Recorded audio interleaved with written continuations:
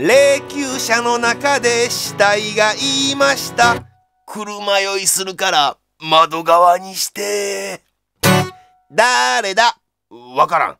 当たり。ほんまに知らないやつだった。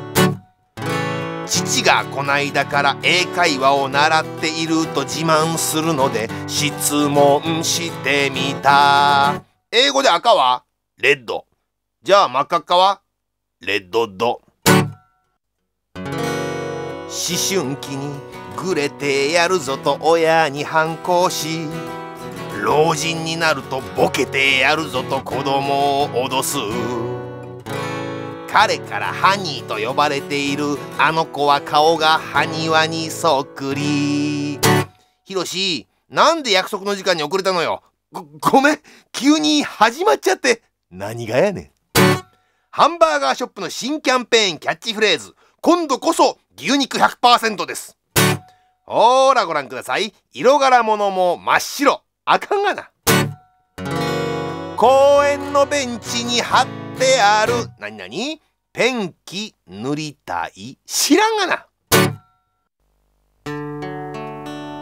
毎度ご乗車ありがとうございます。お客様の中でお医者様はいらっしゃいますでしょうか？いらっしゃいましたら係員までお知らせください。大変やな。急病人でも出たんかな？お客様の中に爆弾処理班の方はいらっしゃいますでしょうか？いらっしゃいましたら係員までお知らせください。え？毎度ご乗車ありがとうございます。お客様の中にお坊さんはいらっしゃいますでしょうか？いらっしゃいましたら係員までお知らせください。ん？毎度ご乗車ありがとうございます。お客様の中に飛行機の免許をお持ちの方いらっしゃいますでしょうか？いらっしゃいましたら係員までお知らせください。飛ぶの？魚屋のラブストーリー。奥さん奥さん僕のサンマはこんなにタチウオさ。まるでカツオのようにピチピチ跳ねているよ。君のホタルイカのような唇にキスをしてマンボウに顔をうずめたい。そして赤貝とミル貝と鳥貝を食べ尽くしたい。ああ私もよ。ウツボが欲しいの。アナゴもウナギもよ。私ってタコの吸盤よ。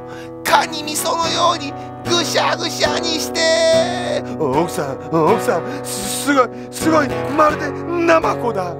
ホヤのようだ。納豆のようにネバネバだ。あ納豆は魚じゃないからあなたの負け。学校から帰ってくると母さんの書き置きレンジをチンして食べてね。母。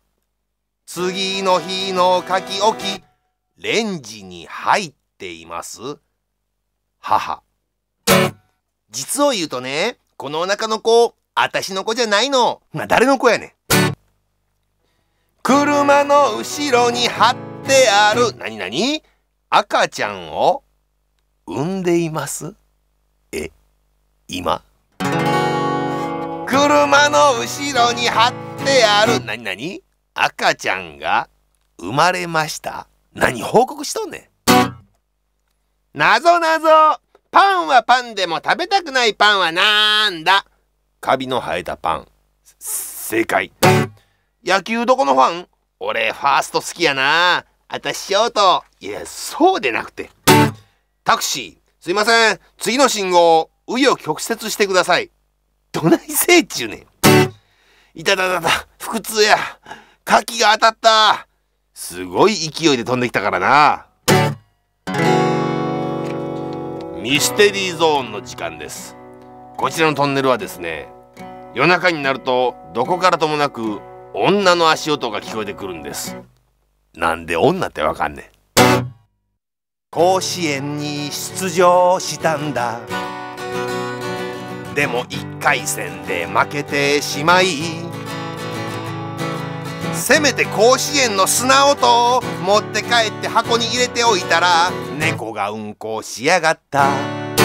クイズ100人に聞いてきてください。いやまだ聞いてなかったんかい。この番組はご覧のスポンサーでお送りするはずでした。何があったんや？逃げてしまったペットの犬を必死で探してる小学生が夕焼けの河原に向かって叫んでる。ポチー俺とは遊びだったのか